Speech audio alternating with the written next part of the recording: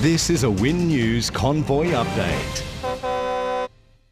I'm at the bottom of Mount Ousley where the I98 FM Illawarra convoy is well and truly underway. Excited children and their families have come out in their thousands to watch bikes and trucks snake their way through the Illawarra from Appin Road to Albion Park. Now, in its 14th year, the convoy is bigger than ever.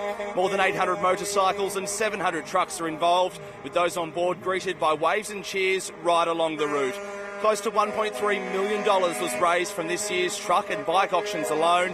Car Brothers Motorcycles came up with a bid of $90,000 for the right to lead the bikes, while a team known as the Dandaloo Boys set a new record in the truck auction with a massive $310,000 bid. And we'll have more convoy updates for you throughout the day. And for a full wrap of the action, tune in to Win News tomorrow night at 6 o'clock.